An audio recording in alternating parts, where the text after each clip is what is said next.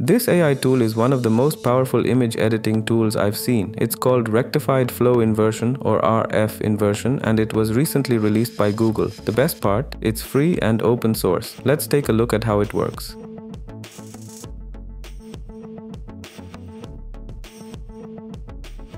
So, with this RF inversion tool, you can take any reference image and prompt it with anything, like a girl and it would change the reference image into a girl. Or if you prompt it with a panda, it would turn into a panda.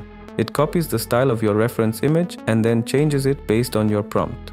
Here's another example. The reference image this time is a golden flower. If you prompt it with face of a boy, this is what you get. If you prompt it with a dwarf, here's what you get. Here's another example.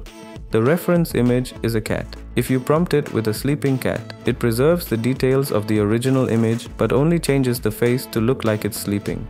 Or here's a silver cat sculpture or an origami cat, and in these cases, it changes just the cat while preserving the overall pose.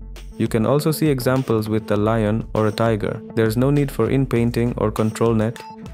In another example, here's the original image.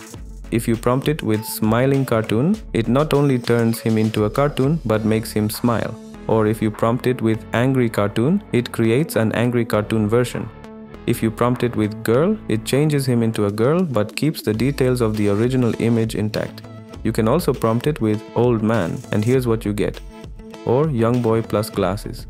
Here's another example. You start with a golden flower and if you prompt it with something else like a butterfly, it generates a butterfly while preserving the texture and look of the original flower.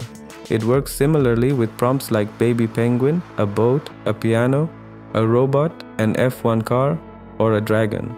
The look and feel of the original image are preserved. It also allows for semantic editing, which means you can edit photos by simply prompting a change. For example, here's a photo from Kill Bill. If you prompt it with anime, it turns the entire scene into anime while preserving the original photo's details. If you prompt it with 3D pixel animation, this is what you get. If you prompt it with man, it turns her into a man while keeping everything else consistent. Again, there's no need for in-painting or ControlNet, it understands what to edit based on your prompt. Here's another example. On the left is the original image, and in the middle are results from other methods that are inferior to Google's RF inversion. The rightmost column shows Google's method where the prompt is wearing glasses. You can see that it overlays a pair of glasses while keeping everything else intact. It's a quick and intuitive way to edit images without manually painting over them or adding masks. You can also change things like gender. If the original photo is of a man and you prompt it with woman, it changes him into her. Conversely, if the original photo is of a woman and you prompt it with man, it changes her into a man. You can also change age. For example, if the original photo is of a woman and you prompt it with old, here's what you get. If you prompt it with older, here's the result.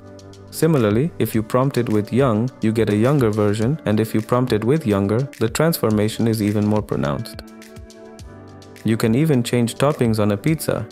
If the original photo is of a cheese pizza, you can prompt it with pepperoni and it adds pepperoni. If you prompt it with mushroom, it adds mushrooms.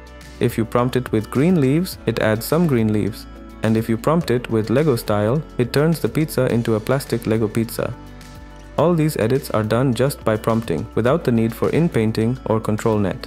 You can also mix the styles of multiple images together. For example, if you combine two input images, the result is a bird dressed in a cowboy outfit in the desert. It's a super powerful tool and I really like the semantic editing ability where you can edit an image just by prompting it there's no need for in-painting, ControlNet or other manual adjustments. This is a much more intuitive approach. RF Inversion has just released a ComfyUI node so you can start using it.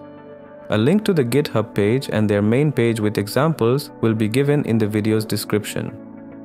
If you found this video helpful, don't forget to give it a thumbs up and share it with your friends. And if you want to stay updated on the latest AI tools and insights, make sure to subscribe to the channel. Thanks for watching and I'll catch you in the next one.